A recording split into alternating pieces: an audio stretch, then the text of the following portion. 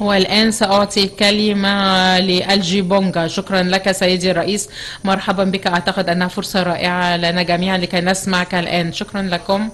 أولا سيدي الرئيس أود أن أشكركم على مشاركتكم ودعوتكم لهذه القمة.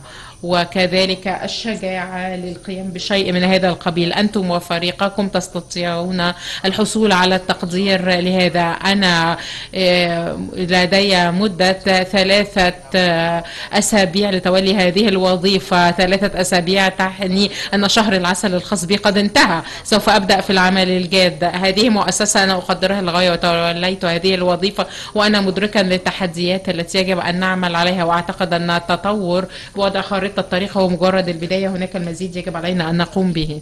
وأعتقد أن ما تغير بالنسبة لي هو أنني عندما أجتمع مع ناس يعتقدون أن التحديات يمكن تحويلها إلى فرص ويتعاملوا مع المسألة بتفاؤل فعندئذ أشعر بأننا إذا اجتمعنا كلنا معا يمكن أن ننجح. وبالنسبة لي أكبر تحد هو أن نصف الجنوبي من الكرة الأرضية لديه أكبر عدد سكان من الشباب. دعونا لا ننسى أن نصفهم من الفتيات والنساء. ولذلك في النساء والفتيات تلك المجموعة لدينا إمكانية كبيرة للمستقبل ولدينا الأمل في فرص للأجيال القادمة. المشكلة هي أن هذا ينجح فقط إذا تمتعوا بمستوى معيشة جيد وجودة حياة أثناء نموهن مما يعني مياه نظيفة هواء نظيف طاقة صحة تعليم. وكذلك فرص عمل. فرص العمل هي أفضل سبيل لإنهاء الفقر ووضع المسمار في نعش الفقر. خلق فرص العمل ما يجب أن نركز عليه وأعتقد أن جزء من إعادة تعريف رؤيتنا ومهمتنا كما قالت السكرتيرة ألين رؤية البنك الدولي يجب أن تتطور كي تصبح نعم سوف نخلق عالم خاليا من الفقر ولكن على كوكب قابل للحياة. وكوكب قابل للحياة يعني أننا سوف نتعامل مع الجائحة الهشاشة تغير المناخ أمن الغذاء أمن الطاقة أشياء تقلل من قدرتنا على التمتع بحياة جيدة والتمتع بالتفاؤل. أؤمن بأن هذه الرؤية تواجه أزمة تخلق تحديات كبيرة. لذا أعتقد أن الوقت مهم للغاية في الواقع. نحن في وقت حرج للغاية في تاريخ البشرية والكوكب. ويجب أن نكون مدركين حقيقة التوسع وتكرار التجارب الناجحة. بحيث يكون لدينا قدر كافي من أمريكا نفعل ذلك. وإذا نفعل ذلك بسرعة على نطاق واسع فإننا بذلك نحبط كل طرف مشترك معنا في مؤسستنا سوف أكون عمليا بشأن ثلاثة أشياء. أرى الرئيس ماكرون أنك قد أشرت أنك تريد أشياء ملموسة. لذا دعني أتحدث عن ثلاثة أشياء على مدار ال 24 عام الماضية.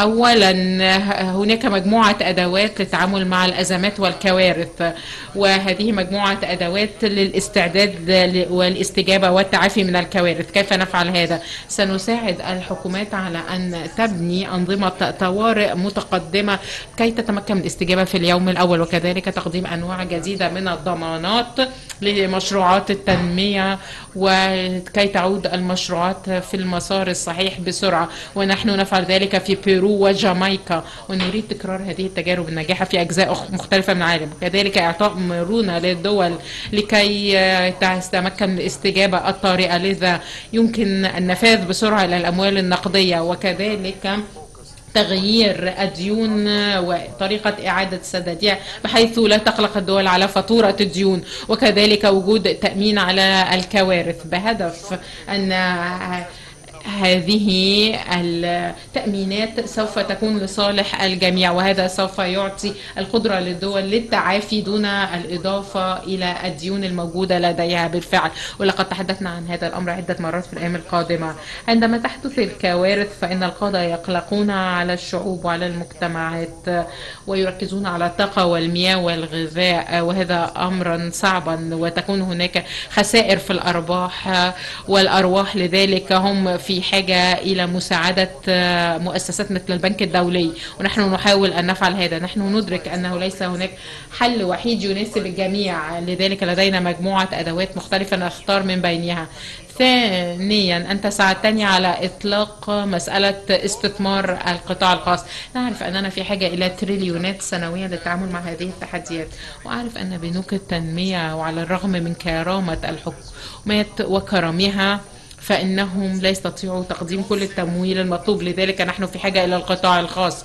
جهدا على مدار السنوات لم تقترب مما نحتاج لتقديمه كنتيجة.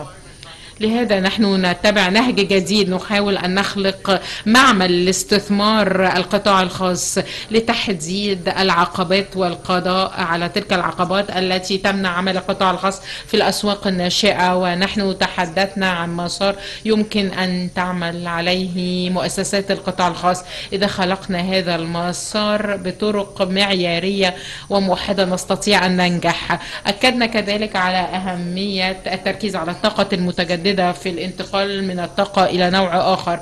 وأهم شيء وهذا مهم بالنسبة لي الفكرة أن نحصل على أفكار وليس تقارير أو فيديوهات. عندما نجتمع كل شهر سوف نتلقى أفكار نعمل على هذه الأفكار. إذا نجحت جيد. إذا لم تنجح نتحرك مع أفكار أخرى. إذا حصلت على ست أفكار ناجحة سننجح.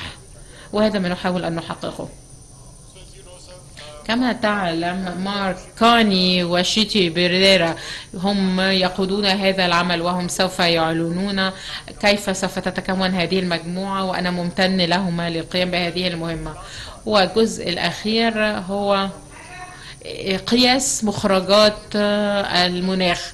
كما كنا نقول نحن روينا جزء من قصة المناخ. تحدثنا عن عدد الدولارات التي نوفرها وليست النتيجة. إذا ما نقوم به الآن هو أن نبدأ مبادرة جديدة مع مؤسسات تمويل متعددة الأطراف لكي نقوم بقياس مخرجات إجراءات المناخ التي تأخذها بالنظر إلى حجم الدولارات التي ننفقها وكذلك قياس الأثر لهذا التمويل. انخفاض في انبعاثات الغازات الدفيئة. الهدف النهائي هو أن يكون لدينا منصة لمخرجات المناخ نطلقها في كوب 28 هذا العام والعمل سوف يبدأ يبدأ هنا في باريس في الاجتماع الذي عقدناه ورأسته. لدينا الكثير من العمل وهناك ثلاثة نقاط هامة هنا. أنا مهتم بالمسائل الملحة مثل أزمة الديون وأعتقد أن التقدم مع زامبيا هائلا ولكن لا زالت لدينا تحديات علينا أن نعمل عليها.